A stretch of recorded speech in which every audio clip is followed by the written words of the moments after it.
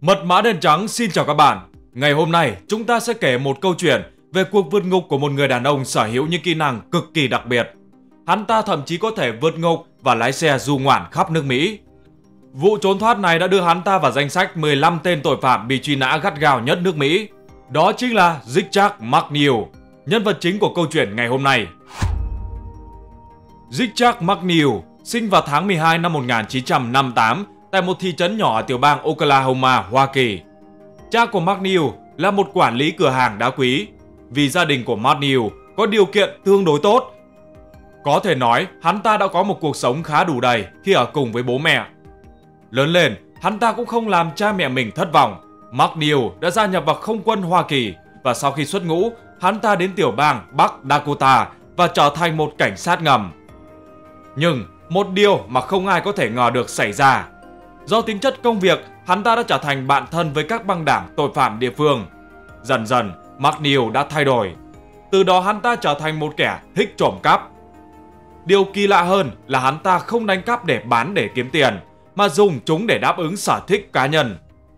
Bất kể giá trị của vật phẩm cao hay là thấp, chỉ cần McNeil thích có thể trở thành mục tiêu của hắn ta.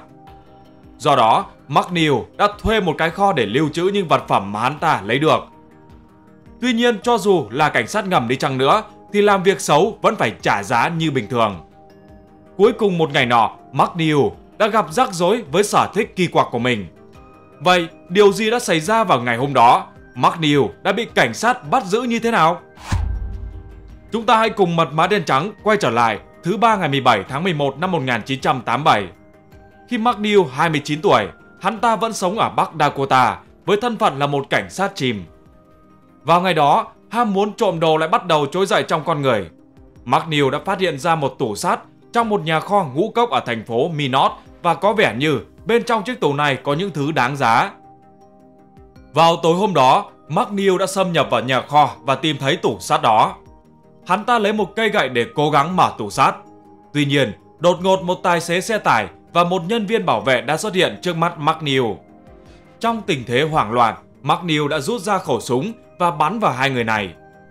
Tài xế xe tải đã không may chết tại chỗ, còn nhân viên bảo vệ cũng bị thương nặng. Tuy nhiên, như các bạn đã biết, McNeil đã từng là một người lính, một người cảnh sát ngầm, nên hắn ta có khả năng phản điều tra rất tốt. Trong tình huống khẩn cấp như vậy, hắn ta đã không lựa chọn trốn thoát ngay lập tức mà cẩn thận xử lý hiện trường.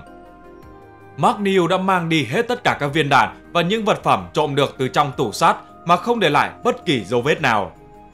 Sau đó, McNeil đã đặt các viên đạn và đồ trộm được vào trong kho lưu trữ mà hắn ta thuê. Ngày hôm sau, McNeil đã tiếp tục đi làm như không có chuyện gì đã xảy ra. Do không có bất kỳ dấu vết nào trong nhà kho, cuộc điều tra của cảnh sát đã nhanh chóng rơi vào bế tắc. Vào tháng 2 năm 1988, tức là 3 tháng sau vụ án này xảy ra, kho lưu trữ mà McNeil thuê lúc này đã hết hạn nhiều ngày và chớ trêu thầy, McNeil đã quên gia hạn cho nó. Vì thế chủ của kho lưu trữ đã liên lạc cho hắn ta nhưng không được. Chủ của cái kho rất tức giận vì nghĩ rằng mình đã gặp phải một khách hàng ối rồi ôi.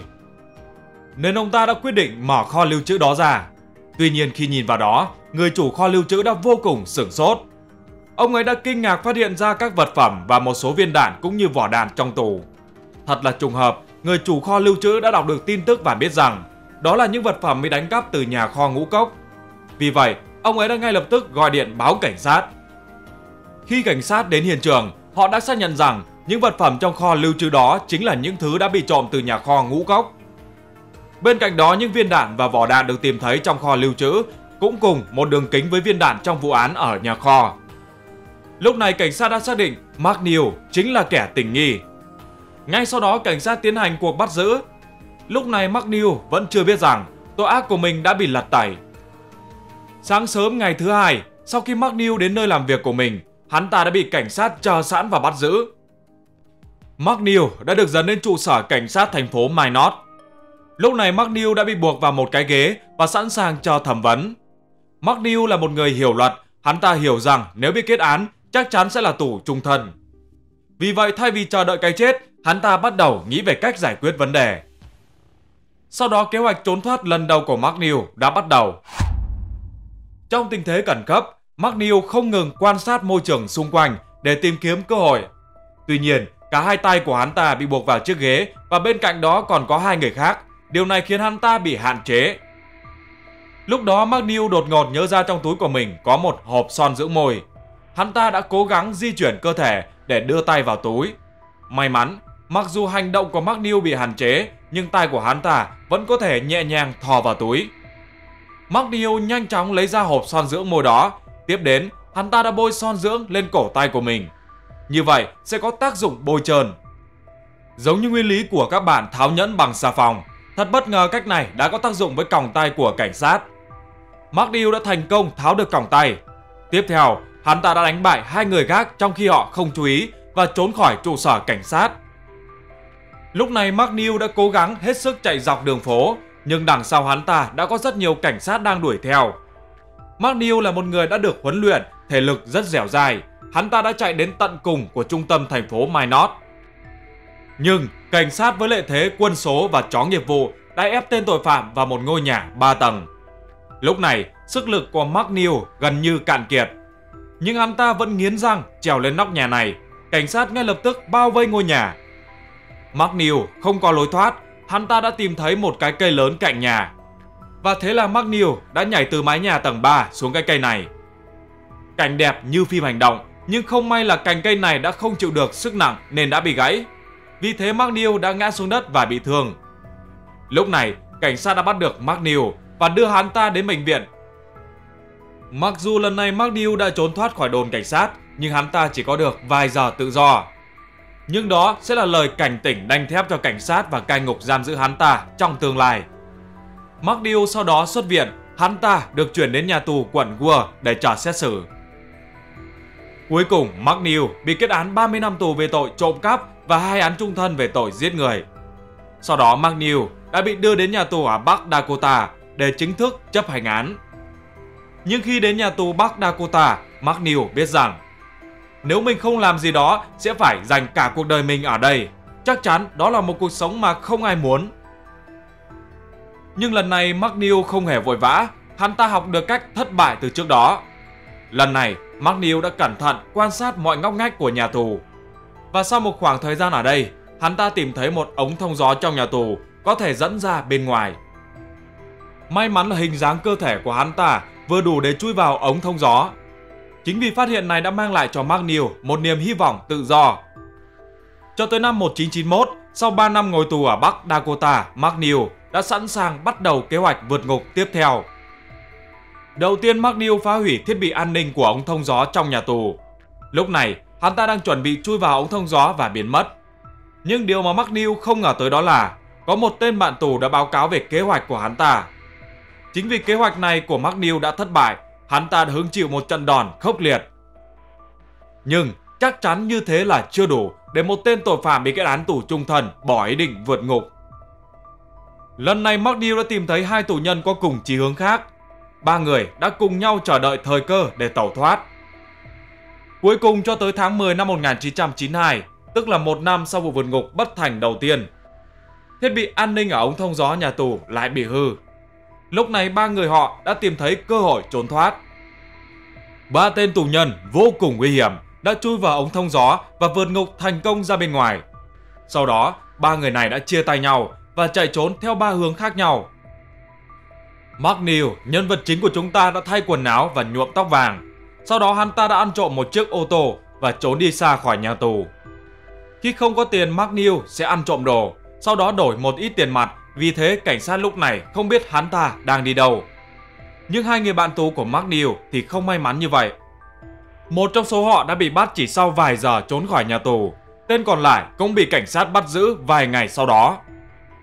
Sau khi McNeil trốn thoát khỏi nhà tù, hắn ta lái xe gần như khắp nước Mỹ. Vì vậy, McNeil có được 10 tháng tự do cho tới tháng 7 năm 1993.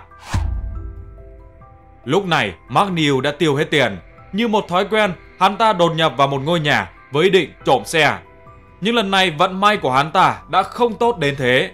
McNeil đã bị cảnh sát bắt ngay tại hiện trường sau khi người chủ nhà báo cáo. Lần này, McNeil đã bị đưa đến nhà tù Oak Park Heights nằm ở Minnesota, Hoa Kỳ. Đây là lần thử thách cực độ đối với McNeil vì nhà tù này được đánh giá là vô cùng bảo mật với an ninh tối đa cấp 5 duy nhất tại Minnesota. Cơ sở giam giữ này được thiết kế và tuyển dụng các nhân viên an ninh được đào tạo để xử lý các tù nhân khét tiếng từ nhiều tiểu bang khác nhau. Cho tới thời điểm hiện tại, nhà tù này chưa có người nào có thể trốn thoát thành công. Quả nhiên là như thế, Mark New đã bị giam giữ ở đây trong vài năm và không tìm thấy cơ hội nào để trốn thoát. Có lẽ lính canh ở đây là quá nghiêm ngặt. Vì vậy, hắn ta đã khởi xướng một cuộc đình công của tù nhân. Và sau đó, hắn ta đã bị chuyển đến nhà tù khác.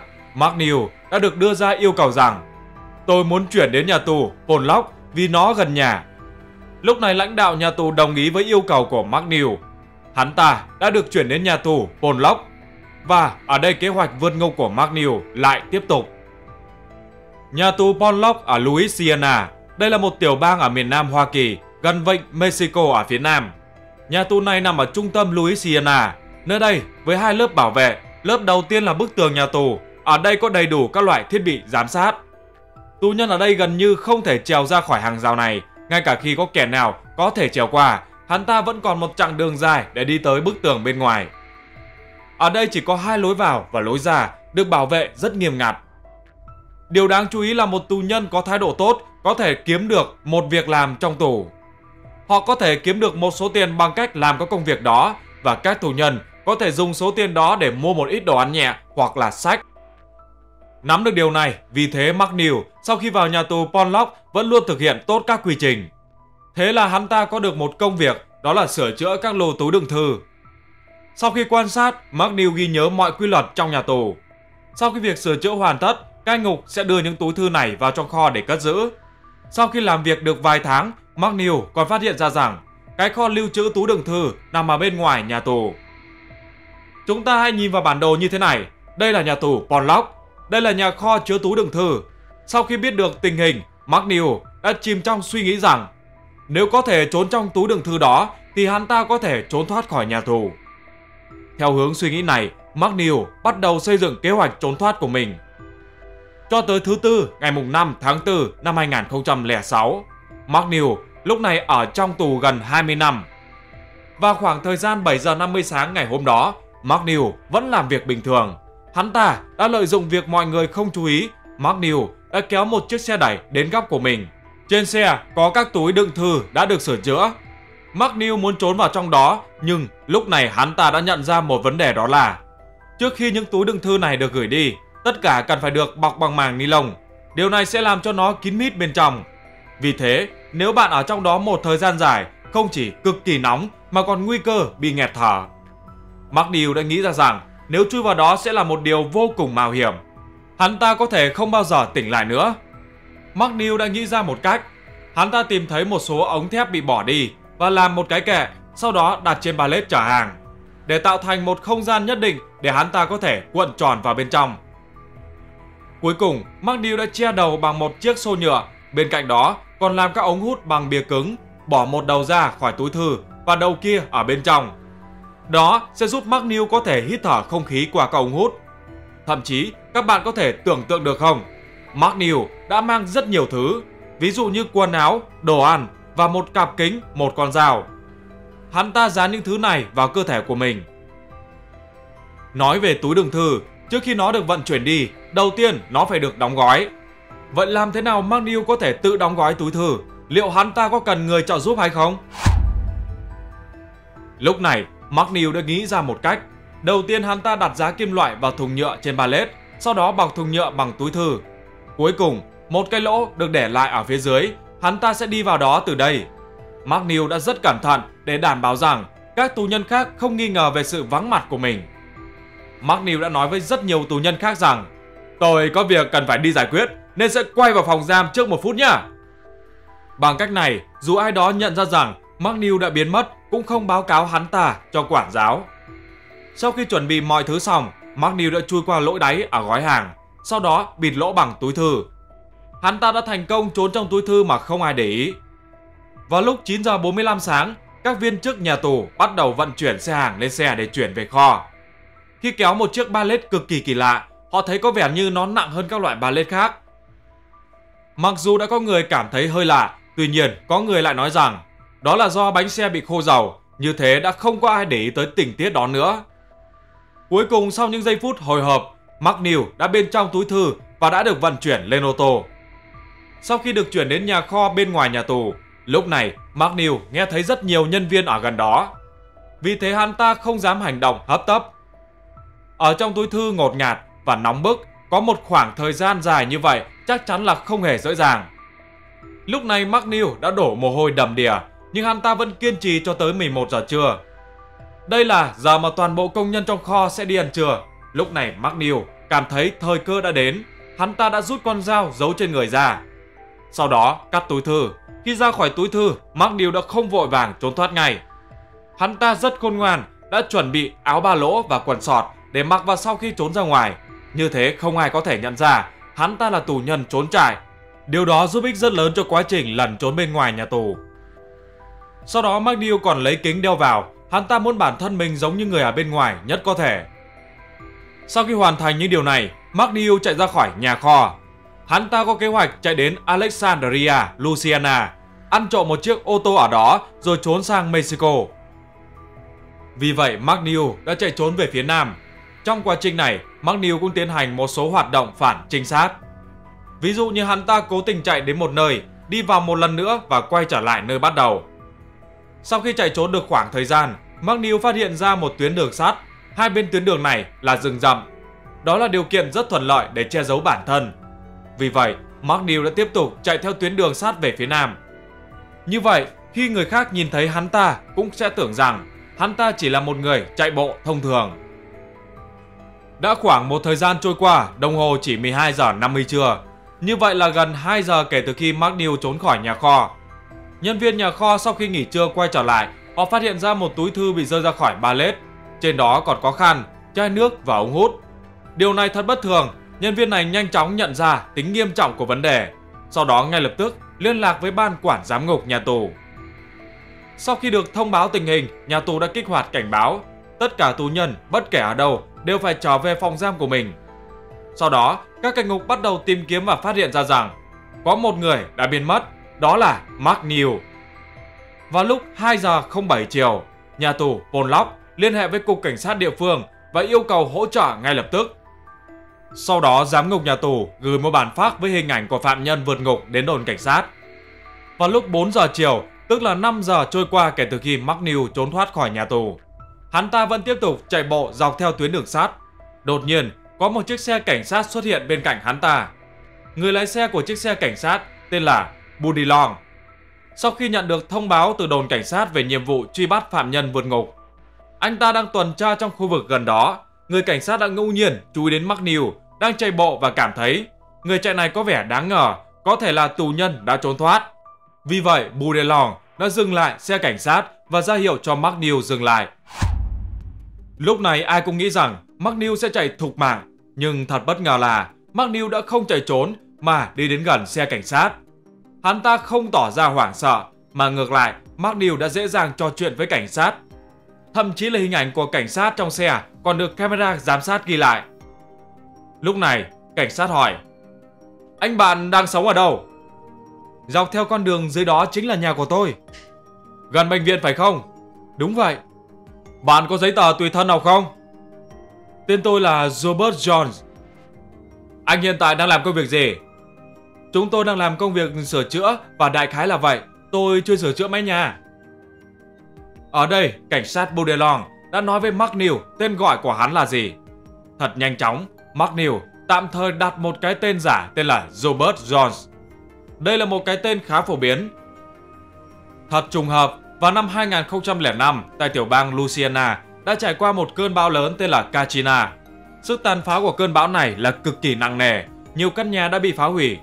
Sau đó, những căn nhà bị hư hỏng gần đó cần được tái xây dựng và sửa chữa, vì thế công nhân từ khắp nơi trên toàn nước Mỹ đã đến đây. Do đó, Mark Neal cho biết, hắn ta làm công việc sửa chữa mái nhà, điều này nghe có vẻ rất hợp lý. Lúc này người cảnh sát đã gạt bỏ sự nghi ngờ, hai người bắt đầu trò chuyện vui vẻ hơn. Cảnh sát Được rồi, hãy gọi cho chúng tôi nếu bạn thấy ai khả nghi nha. Chúng ta có một tên trốn thoát khỏi nhà tù. Ôi, chết tiệt, thằng thằng đó đã trốn thoát khỏi nhà tù à? Nhà tù ở đây hả? Đúng vậy. Cảnh sát Budelong là một người có kinh nghiệm, ông đã gặp quá nhiều tội phạm. Nhưng lần này, ông đã bị đánh bại. Một trong những lý do Budelong thả lòng cảnh giác là sự thản nhiên của McNeil. Trong quá trình trò chuyện, McNeil còn thậm chí hỏi cảnh sát một số câu hỏi. Điều này làm cho người đối diện cảm tưởng hắn ta là một người tốt. Tuy nhiên, theo quy trình, Budelong vẫn cần xác nhận một lần nữa. Bạn biết ờ, điều tồi tệ nhất là gì không? Là gì? Tên của bạn trùng khớp với hắn. Thật đáng tiếc, tên của bạn là gì? Jimmy Jones. Lúc này McNeil đã lộ ra sơ hở.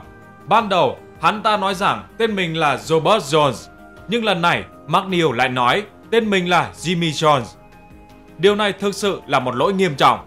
Sau khi McNeil trả lời, Budelong đã dừng lại trong vài giây nhưng vẫn không phát hiện ra lỗi sai này. McNeil nói tiếp. Tôi hứa với anh bạn, tôi không phải là một tên điên cuồng nào đó. Budelong đã trả lời. Vậy là xong rồi, tôi thấy có một đường sắt ở đó. Chúc bạn một ngày tốt lành, hãy cẩn thận nhá. Cảm ơn, không vấn đề gì. Sau khi trò chuyện với McNeil trong 10 phút, thám tử Budelong không thể tin được anh ta đã có thể vượt ngục chạy đi ngay trước mắt. Anh ta đã nghi ngờ McNeil là một tên tội phạm, nhưng McNeil đã ứng xử quá tự nhiên.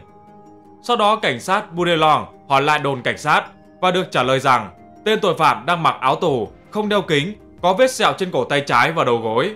Cảnh sát Budelong đã kiểm tra cổ của tay McNeil và thực sự không có vết sẹo nào. Ban đầu hình ảnh gửi bằng fax từ nhà tù tới đồn cảnh sát là hình ảnh cũ của McNeil. Thông tin khác cũng đã rất lâu không được cập nhật. Về việc cổ tay trái của McNeil thật sự đã từng có vết sẹo nhưng hiện tại đã lành lại hoàn toàn. Nếu không nhìn kỹ thì thật khó có thể nhận ra. Do McNeil thực tế không khớp với các đặc điểm trên hồ sơ nên cảnh sát đã không thể phát hiện hắn ta. Trên thực tế vào thời điểm đó, McNeil đã vô cùng sợ hãi nhưng hắn ta không còn cách nào khác ngoài việc cố gắng tỏ ra bình thản. Sau vài giờ để McNeil trốn thoát, cảnh sát Budelong đã gặp lại hai người cảnh sát khác. Hai người cảnh sát cho anh ta xem ảnh mới nhất của McNeil. Lúc đó, Budelong mới tá hỏa nhận ra rằng người anh ta vừa trò chuyện chính là McNeil. Vì vậy, Budelong đã cho hai người đồng nghiệp xem lại đoạn ghi hình từ camera giám sát, sau đó xác nhận rằng đó chính là McNeil. Cảnh sát Budelong đã cho biết rằng McNeil đã chạy về hướng Nam. Sau đó lực lượng truy bắt thiết lập nhiều chướng ngại trên các tuyến đường cần đi qua theo hướng mà McNeil đã chạy. Tuy nhiên, điều mà cảnh sát không ngờ được rằng sau khi gặp cảnh sát, McNeil đã thay đổi ý định. Hắn ta cho rằng sớm muộn gì viên cảnh sát trước đó cũng sẽ biết được danh tính của mình, hắn ta đã bị lộ. Nếu tiếp tục chạy về phía nam, khả năng gặp nguy hiểm sẽ rất cao. Vì vậy, McNeil đã quyết định chạy về phía bắc. McNeil đã suy luận đúng, tuy nhiên quyết định này vẫn có một mức độ rủi ro nhất định, vì đó là hướng quay trở lại nhà tù và có thể gặp phải sự truy đuổi của cảnh sát. Tuy nhiên, McNeil vẫn quyết định chạy về phía bắc. Hắn ta không đi vào Mexico nữa và dự định trốn vào khu vực phía bắc và nhập cư vào Canada. Chính pha bẻ lá này đã khiến những cảnh sát đang chờ đợi ở phía nam được một phen leo cây. Ba ngày sau khi McNeil trốn thoát, cảnh sát đã công khai thông tin cá nhân của hắn ta với hy vọng sẽ có người cung cấp dấu vết của kẻ vượt ngục. 5 ngày sau đó, McNeil được xếp vào danh sách 15 tội phạm truy nã khắp nước Mỹ. Cảnh sát cũng đặt mức tiền thưởng là 25.000 USD cho ai cung cấp thông tin. Sau đó McNeil đánh cắp một chiếc xe theo kế hoạch và tiến về phía Bắc. Trên đường đi hắn ta sẽ bán chiếc xe đánh cắp, sau đó lại đánh cắp một chiếc xe khác. Như vậy, McNeil đã thành công đến được thành phố Blaine thuộc tiểu bang Minnesota. Và sau đó hắn ta đã thành công nhập cư vào lãnh thổ Canada. Sau khi đến Canada, McNeil hiểu rằng nếu hắn ta bị bắt lại một lần nữa, hắn ta sẽ không có cơ hội thoát ra nữa. Do đó McNeil đã cố gắng tránh bị phát hiện trong một thời gian càng lâu càng tốt. Để kiếm sống, McNeil chủ yếu sống bằng việc trộm cắp. Vì trước đây hắn ta từng làm gián điệp và tiếp xúc với nhiều ngành nghề khác nhau, hắn biết làm thế nào để nhanh chóng tẩu tán các món đồ trộm được. Hắn ta rất thích trộm các chiếc xe màu trắng vì đó là màu phổ biến nhất và ít gây chú ý. Ngày 28 tháng 4 năm 2006, sau 23 ngày kể từ khi McNeil trốn thoát, hắn ta đậu một chiếc xe trong một bãi đậu ở thành phố Cottonwood, Canada Basin. Lúc này, nhân viên bảo vệ của bãi đậu xe đã nghi ngờ một chiếc xe này là xe trộm, do đó đã báo cảnh sát. Một viên cảnh sát đã đến hiện trường và yêu cầu McNeil trong xe ra ngoài và nói chuyện với anh ta. Đột nhiên, khi nhân viên cảnh sát không để ý, McNeil đã tận dụng cơ hội và chạy trốn. Người cảnh sát này không nhận ra hắn ta là ai, vì vậy đã tạm giữ chiếc xe. Hai ngày sau trong khi xem chương trình truyền hình Mỹ, truy nã Mỹ, người cảnh sát này phát hiện ra rằng người mà hắn ta gặp vào ngày hôm đó đó chính là McNeil, một trong 15 tên tội phạm truy nã nguy hiểm nhất nước Mỹ. Tiếp theo, người cảnh sát này đã tìm thấy một chiếc xe bị giam giữ trong một máy ảnh kỹ thuật số, trong đó có những bức ảnh tự sướng của McNeil. Trên máy ảnh có dấu vân tay của hắn ta, như vậy có thể xác nhận người đó chính là McNeil. Tuy nhiên, viên cảnh sát này đã không nhận được phần thưởng dành cho người cung cấp thông tin cho kẻ bị truy nã vì McNeil đã biến mất không có dấu vết. Những tưởng hắn ta đã có thể sống một cuộc đời mới tại Canada và mọi người sẽ quên đi việc truy đuổi McNeil, nhưng không. Một sự việc tình cờ đã xảy ra vào ngày 24 tháng 10 năm 2007, tức là hơn một năm sau khi McNeil trốn thoát. Một viên cảnh sát ở Canada tên là Gagnon đã phát hiện ra một chiếc xe bán tải màu trắng có giá trị không nhỏ trên đường. Sau khi quan sát, anh ta nhận ra rằng kính xe đã được dán màng bảo vệ, không thể nhìn thấy bên trong. Gagnon đã nghĩ rằng chiếc xe này có thể đang vận chuyển hàng lậu. Vì vậy, anh ta đã đuổi theo chiếc xe và ra hiệu để chiếc xe bán tải đó dừng lại kiểm tra. Lúc này, người lái chiếc xe bán tải đó chính là Mark Neal.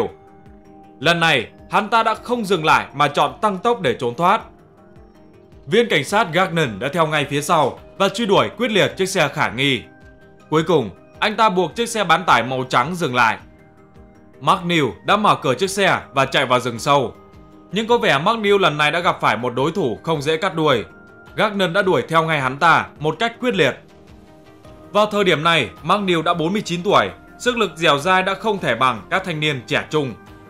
Sau cuộc truy đuổi kéo dài, Mark New đã bị cảnh sát bắt giữ. Sau đó Mark New không còn sức lực để chống cự và hắn ta còn đùa cợt với cảnh sát rằng Chúc mừng bạn đã bắt được một con cá lớn. Cuối cùng McNeil đã bị dẫn độ về Mỹ. Đối với cả cảnh sát Mỹ, họ đã được nếm trải những cú lừa của McNeil. Chính vì thế, lần này hắn ta được chăm sóc đặc biệt hơn. Lần này, McNeil đã được chuyển tới siêu nhà tù mang tên ADX Florence. Nơi đây được mệnh danh là Alcatraz của dãy núi Rocky. Nhà tù này giam giữ những tên tội phạm nguy hiểm và khó giam giữ nhất tại Mỹ. Đáng chú ý, nhà tù này chưa bao giờ có tù nhân nào có thể trốn thoát và có thể McNeil đang lên kế hoạch cho cuộc trốn thoát tại đây. Tuy nhiên, cho tới thời điểm hiện tại, McNeil vẫn đang an vị trong nhà tù này. Đó cũng là cái kết của câu chuyện này. Các bạn cảm thấy thú vị thì đừng quên ủng hộ ekip của kênh bằng cách một like và một bình luận nha. Bây giờ thì xin chào và hẹn gặp lại. Nhớ ấn đăng ký nữa nha.